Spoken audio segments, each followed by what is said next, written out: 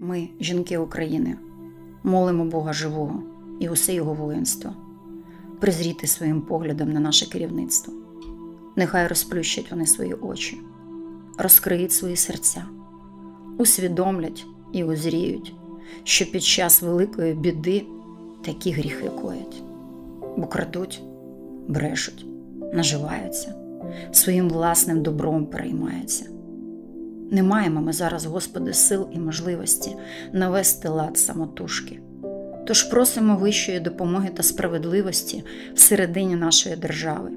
Нехай нове сонце засяє, життя розквітає, ворог ярим вогнем палає і лише попіл на добриво залишає. Немає пощади ні тому, хто зовні, ні тому, що всередині, ні тому, що інше наше, своє чи чуже, що на горі людському наживається.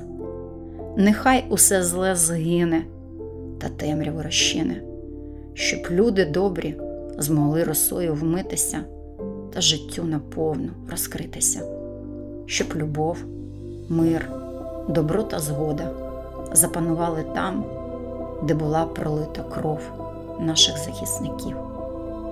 Наповни жагою перемоги серце кожного, вклади в нас мудрість Матері Софії.